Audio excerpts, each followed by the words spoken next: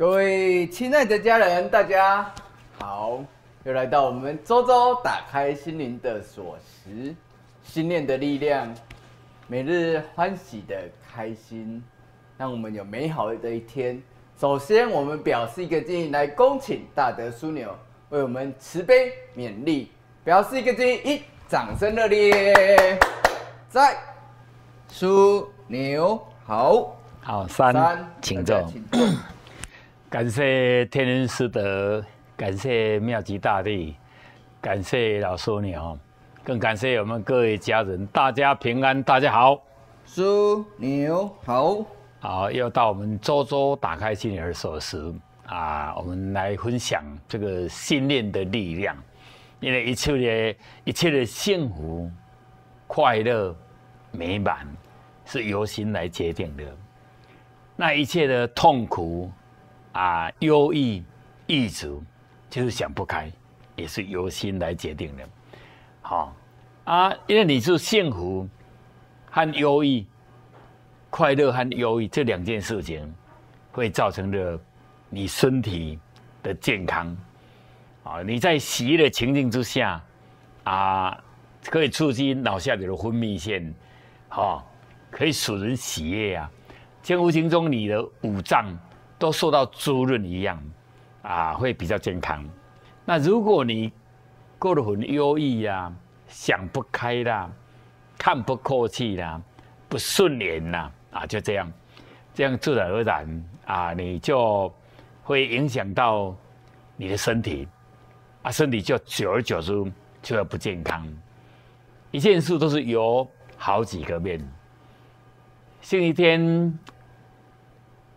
哎呢，我二女儿她在啊上课，她她告诉我说，我那个师傅叫翁祖义，把他带到我们的啊崇岩道路的儿童教室去。那我就到重庆来，我就很自然的，他就带到我的办公室，啊，然后就啊吃点东西。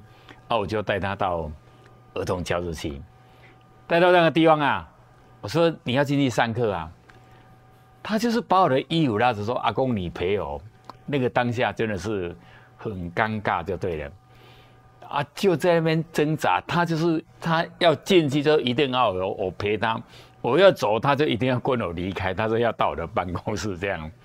啊，但是 但是我我今天如果到我的办公室，你。没没办法完成我今天的任务，我的任务是带你到教室而已呀。啊，就老师也在那边啊安抚他，到最后没有说那好，我陪你，我陪你。他坐在前面，我坐在后面。教室里面很多的同学都说：“翁主义来来做我们这个周，做我们这一周呢。”好，也是很热诚的啊，但是还是没办法感动他，因为他回西班牙。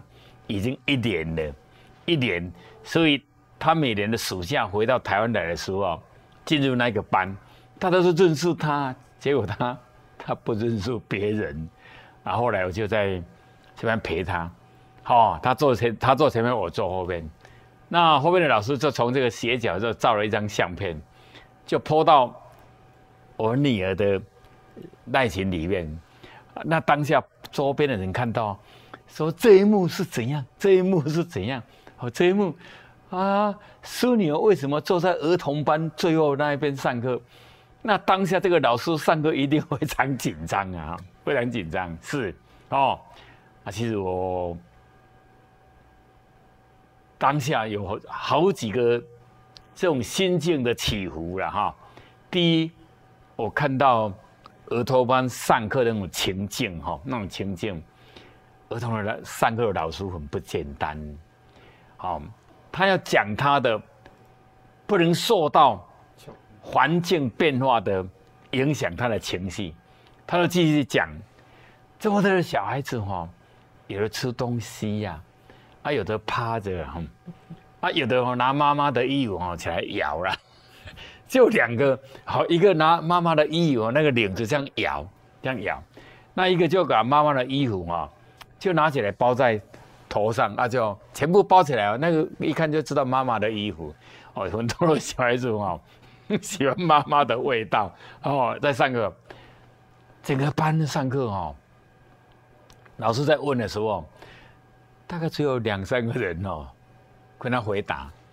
其余的像我前面也坐了两个小女生哦，隔壁哈，他们都很文静。我觉得是啊，齐恩老师的两个女儿，他们很文静，就坐在那边。好，我就坐在他的隔壁，坐在隔壁。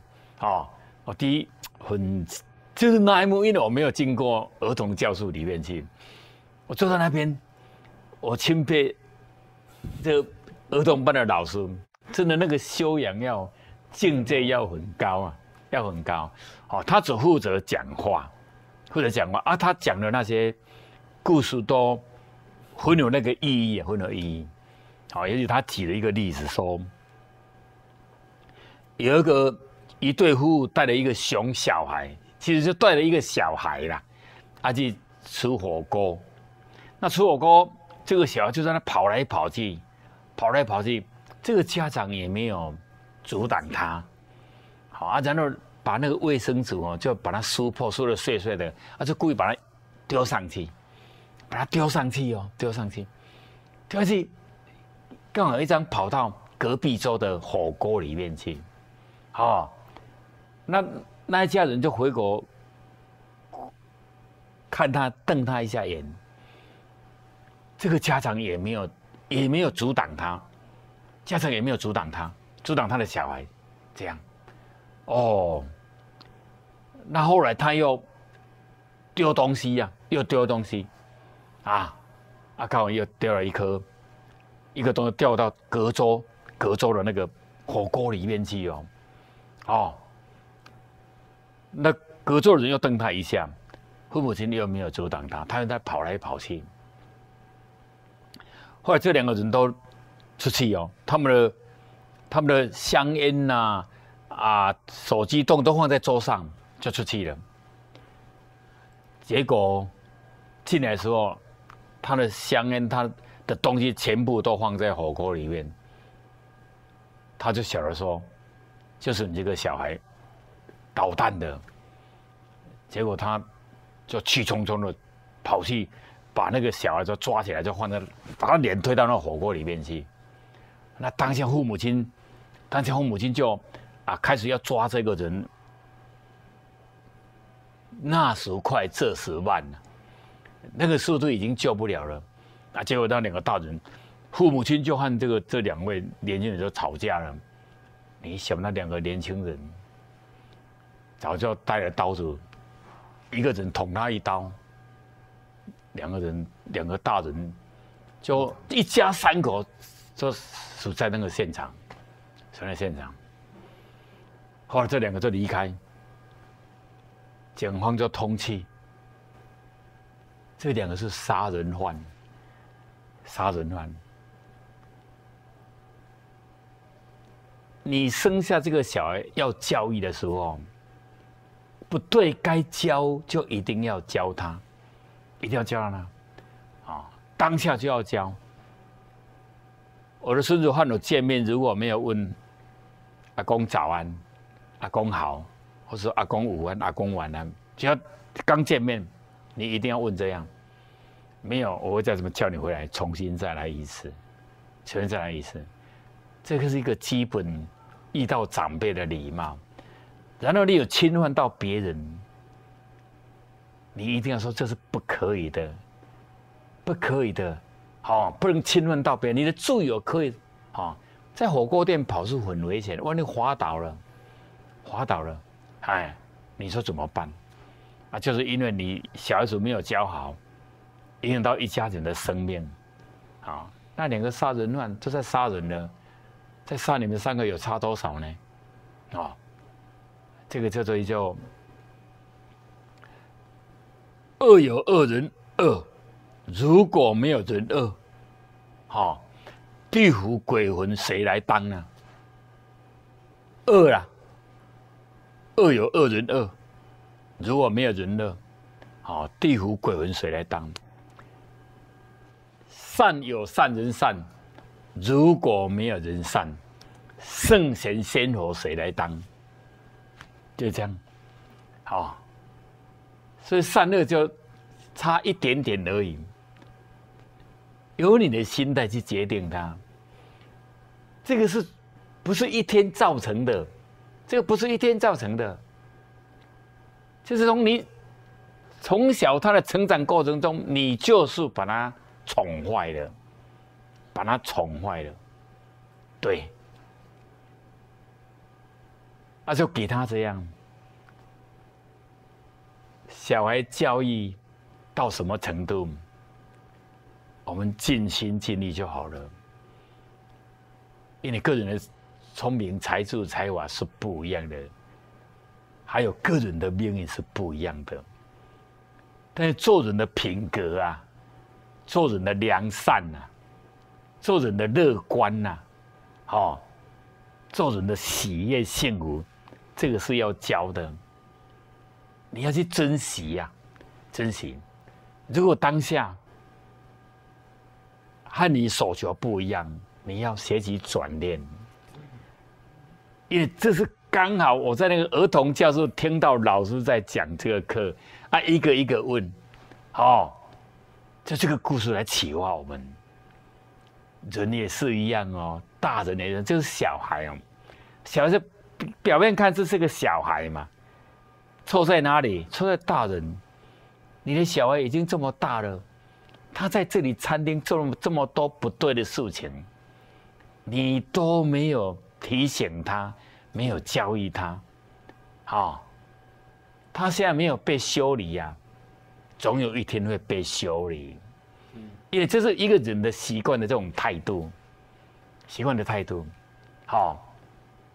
就像你看，一个贵妇，她穿的名牌衣服，带的名牌包包，开的名车，就在精品店里面买东西，结果警察来拖她的车，拖他的车，哦，第一点会拖你的车，就你停车停错地方才会拖嘛，啊，你一出来，你如果说啊，抱歉抱歉，哦，想想刚去进去一下。和警方通融一下，搞不好那个车子刚吊起来嘛，再放下去都有可能，你知道吗？结果他开口不是说抱歉，是骂骂警察、骂工作人员，哦，这个王叉叉就这样，哦，这样，啊，那个警察说你再骂一下，你再骂一句，哦，他说再说王叉叉。那警察说开走，就开走，开走。那个贵妇又骂一次，那个警察一气年轻的也是年轻气壮，一气就把他过摔过过肩摔，啊，裙子就新开的，因为现在手机方面很多人在露营嘛，好，你为什么会养成你开口就骂人？就是你的生活各方面，就是装装扮的，就是你的生活很富裕啊，但是修养，好，好像分数没有及格，还是说那个趾高气扬的那个环境造成你啊，专门在指责别人的，啊都没有看到自己到底有没有错。事情发生的时候，你出来了。你讲出来的话就是会这样，说为什么要周听这个周周打开心的时候的节目？为什么要听这个心念的力量？因为这不是听了就会的，就是你听了就懂嘛。但是懂和会是还有一段修炼、修持、提醒，就你有落实于这一句话。啊，将你的灵魂的记忆体，就是你的伺服器里面，就是改变放好的东西下去，瞬间发生的时候，你说啊，抱歉抱歉，你整个就会不一样，你可以体谅，就可以体谅，好，这样就不会发生了。所以你听了，是你听懂了没有错，听懂了。能不能做用那一回事。啊，当初这个孙尊人呐，一个名医呀，一个名医，他在看病的时候是很厉害，所以他名声很好。但是，只要各地人已经到最后没有救的，都想到拼到他们家给他看一下，结果都到他家门口就死掉了。他都还没摸到手就死掉，没有啊？把脉都还没，把人死了，所以死了很多人啊！就有人讲说啊，这个孙医师、孙真人就这么厉害，为什么医死那么多人？真的很冤枉，他根本都连看都没有看，就死在他家门口，没有救的，到最后都要来抬抬在他家门口啊！这个就是哈，你是名医没有错，但是。你的医呀印啊，那个印还没到，印命嘛，命运嘛，这个命运人的命运要靠这个印命嘛。好，就像我们刚才说那个火锅的那个小孩嘛，好，你今天的命运就是你平常的印命，就印入了不好的思维、行为、举动、态度，就在这个里面。小孩子不对，大人跟人家吵架，跟人家吵架。就就像昨天我女儿跟我说，我们那个五岁的孙子翁祖义去踢足球，他五岁了和八岁的拼呐，哇，八岁的拼，结果来的时候跟妈妈说，他不不想参加这一队，他说为什么？他都不想，就这样，他没有讲什么，没有讲什么。那那家他就问旁边的小旁边的小孩，他说啊。我那个孙子哦，跟人家比宗主这样，跟人家比宗主，好，我女儿就说，心里想说，他连宗主是哪一组都不知道，怎么会比宗主？但是他没有讲说哈，那我就跟他讲说，不可以这样哦，哈嘿，他回来问翁祖义说，祖义什么叫宗主？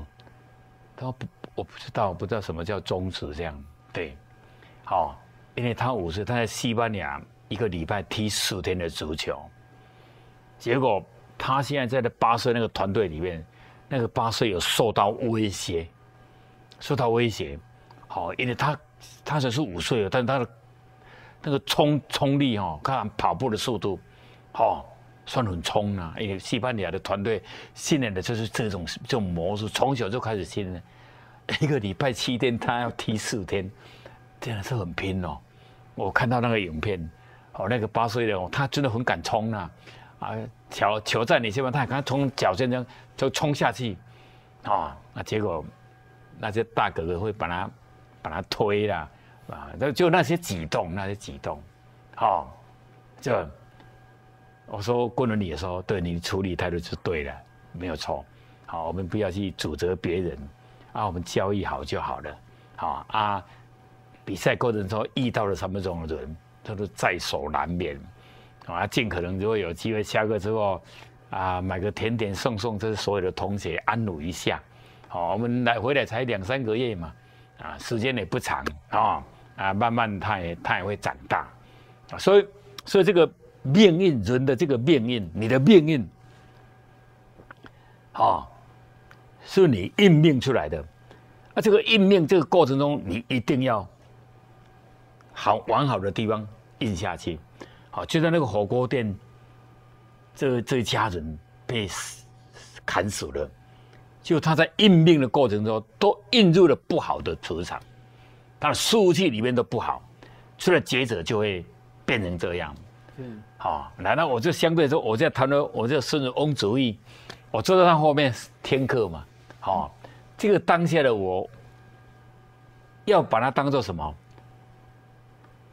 我是很忙的，你知道吗？我是受委托带小孩到教室而已，想不到我会在那陪他做一个小时，这个叫做甜蜜的负担哦。如果你当下想到你有很多的事情哦，你会心如气躁。但是我没有，我坐着啊，叫双手放在前面的椅子，小朋友的椅子嘛，哦，这个都小时候小小的椅子坐在那边就一个小时课把它听完，好。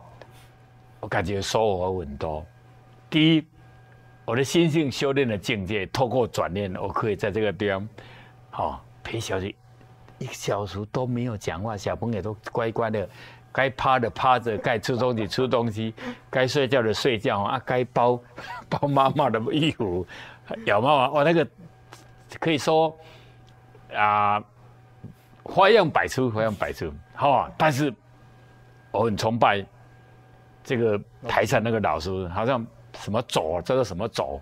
卢平走哦，卢品佐哦，对。哦，这我真的是很很强很强。哦，可以不会受到情境的影响。哦，这个要练的，这个没有那么简单哈。啊，这个所以说你的情境当下没有办法解决，你要透过人的转念，透过人的转念，这个转念过程中就有很多你的储备心会发单发端。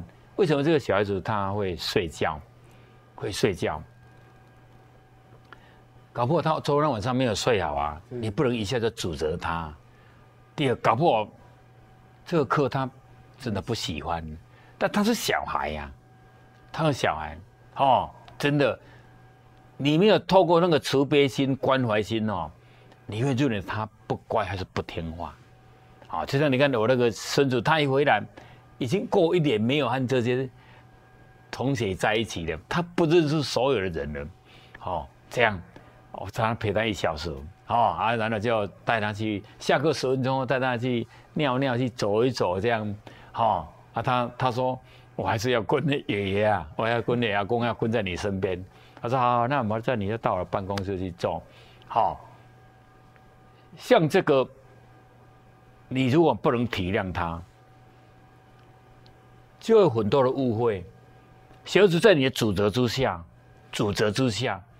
有时候他会萎缩，或是防备，或是无奈，他是在那种压抑中的环境这样，是啊，因为因为这个孙子他现在西班牙文、英文和中文同时在学习嘛，好，还有数学的九九乘法表都要背，好，还有足球、游泳，哦，现在小孩子到底是也算很可怜哦，爱算很有福报，好啊。踢足球、游泳这些通他们喜欢的，喜欢的哈。那到水晶老师那边背经典，有一次他跟我说：“水晶妈咪，那个太困难了。”我说：“我我能体谅，我能体谅。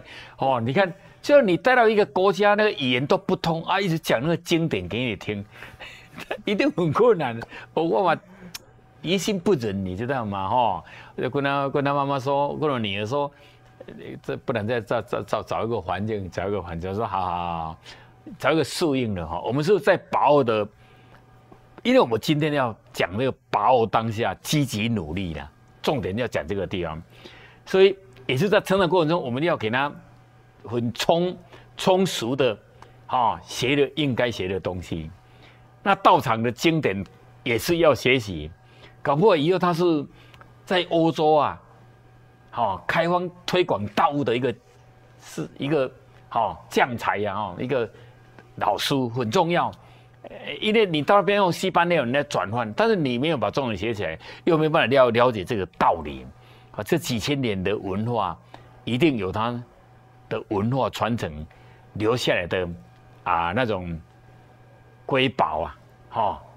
有它好处的地方，才能才能变成这样，好，所以把握每一个当下是很重要的，对小孩子的教育也是一样，好啊。今天在讲到破题那个地方，那我就再听了一次那个啊，MVD 的那个执行长黄准新这个 Johnson，他记者在访问他的时候，访问他的时候。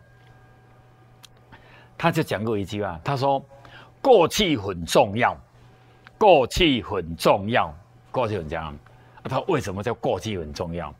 他说：“我在餐厅打工，哦，第一个工作我就洗碗，洗碗。九岁的时候他是打扫厕所，九岁是在在农场里面，学校农场里面。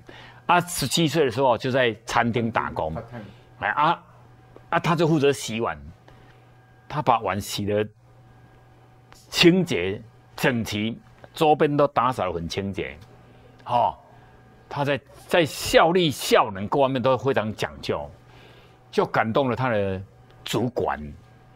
突然发现，哎，他这个就很不简单，啊，那就派他到这个前台来当服务生啊。当服务生那个当下和他和他是一种勉强，因为他本身是属于木讷型的，但是他告诉他自己，这是给我机会，我要把握。所以他第一步先学习笑，笑，学习笑，因为服务服务人员要保持笑容嘛。啊，这是他的做的。所以你现在看到他现在每他开口，他就保持笑容，就在那边练起来的。好，没有事没事就笑一笑，笑一下，笑起来笑起来比较好看呐。哦，因为服务人呢点餐嘛，各方面这样。好，他说这个是给我机会，我要我要勉强。所以因为他当下那种勉强勇敢，过程中叫做铸造勇敢。结论。成就勇敢，对，所以刚起步不能百分之一百是你喜欢，或是你有信心，或是你有把握，没办法一百分，没办法，哦，大概有点机会，你要要要要把握，他要把握，好，这样无形中他的态度就是洗碗的态度是对的，然后到前台来的时候态度也是对的，他两个态度是不一样，一个是工作态度，一个是勉强的态度，是。勉强自己叫做勉强勇敢。我希望我这次在讲的是勉强勇敢，哈创造勇敢这个过程，哦每一次都要勇敢的，面对客人嘛，要客人每个客人都不要点餐呀。你那个时候当下进对应对要很厉害。他说，因为他现在的口才和那个胆识是从那个前台学来的，好啊，到现在今天成为三兆男，好就是成就勇敢，很勇敢。来，他说。过去很重要，然后他长大读书嘛，读后来就找了三个同学，和他这三个人就在一起研究如何来创业。以前的苹果的贾伯斯，包括微软的那个比尔盖茨，都有车库可以开会，从车库起家。黄仁勋连车库都没有，所以他们就在。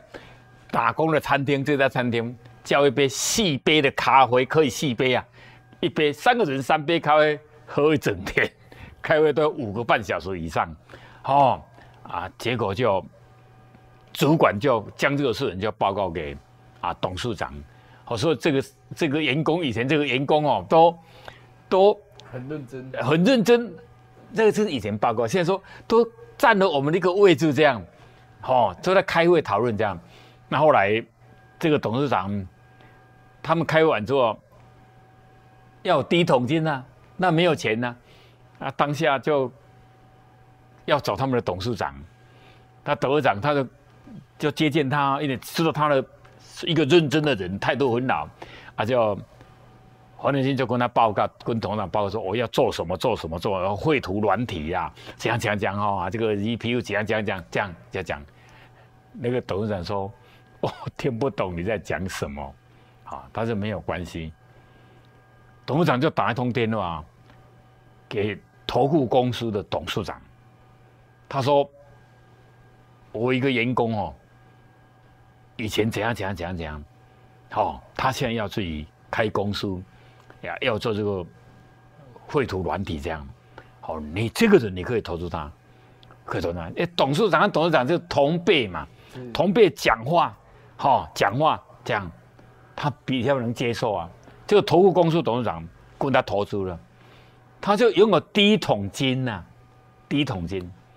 好，所以你看，你不要小看洗碗呐，任何一件小事啦，这些都累积你未来成功的每一个步骤。好，像那个火锅店那个一家被杀，那个就是应命的时候都是应到不好的东西去。不要小看小，不要。看的每件小事，那对我们的道理来讲啊，那就因缘果报啊，就是因嘛。你创造了很多的因，到最后的果就可以找出来了。你一直因量不好的因，一定结了不好的果。你因了每一个好的因呐，到最后它会结成好的果啊！哦，真的想不到洗碗，好想不到，想不到叫一个前台学习这样改变人的一生，也因为在那种恶劣环境之下，你的谦卑心会跑出来，你的学习学习的潜力，哦，想要学习成功，他常常讲他自己啊，他自己的等于说自己的。欲望不大，欲望不大，成功的几率就很高。好，所以这就过去很重要，其实叫做因缘果报。啊，把握了当下，积极努力，往好的地方来走，你的福气，你的灵魂本质就会装一些好的东西。哪一天累积成功成熟了，自然而然一爆发，它就会成功了。祝祝大家成功、快乐、幸福，谢谢！表示一个敬意，掌声热烈！再谢谢，感谢大德苏鸟师杯，谢谢。三，大家请坐。其实这个生活的案例非常多，就像我们李老师志雄他的千金，因为我们在二零二三年的八月有一群。年轻人去到了南投仁爱乡，本来要去办夏令营，结果遇到风灾了。他去服务，创造了什么？他的内心的改变，说：“哇，原来社会还有这一种不同的面相。”那也因为这个因缘，他在二零二四年的暑期就拿到一个县政府的奖助学金，二十五万可以去英国一个月，接近是全额的补助了。那其实这是我们在学理洗礼当中要内化自己，是言行一致无偏移。我们在学习的过程中，一直往内自己去提升自己的时候，你会去对不同的人有所提升。好，那我们等一下休息一下，再回到现场。谢谢大家。